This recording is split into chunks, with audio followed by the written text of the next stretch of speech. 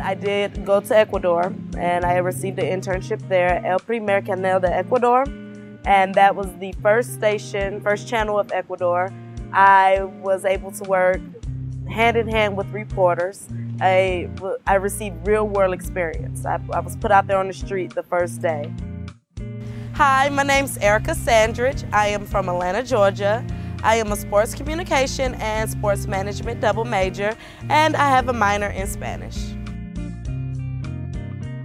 I can go to my professors and I can talk to them about anything.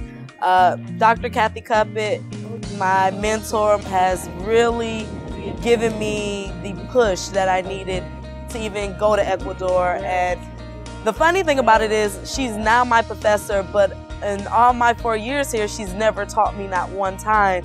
Yet I was able to go to her as a professor and get the advice that I needed.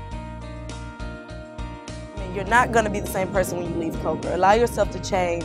The, the well-rounded education and the liberal arts education that you receive here will change you. The professors will change you. They will help you find the person that you want to become or that you need to become.